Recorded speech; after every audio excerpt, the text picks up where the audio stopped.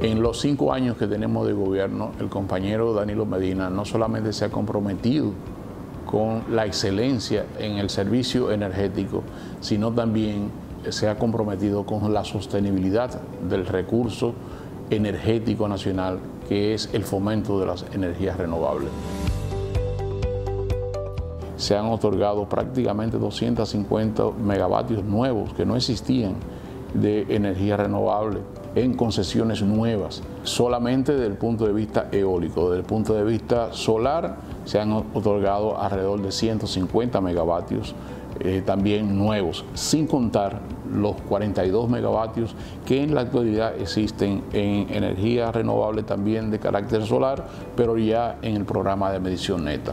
Como vemos, estamos hablando alrededor de 560 megavatios que se han otorgado en concesiones definitivas. Al término del gobierno del compañero Danilo Medina, podríamos estar hablando de una matriz que anduviera los 30-31% de generación a través de energía renovable. Nadie ha hecho más que el compañero Danilo Medina por una real independencia de los combustibles fósiles.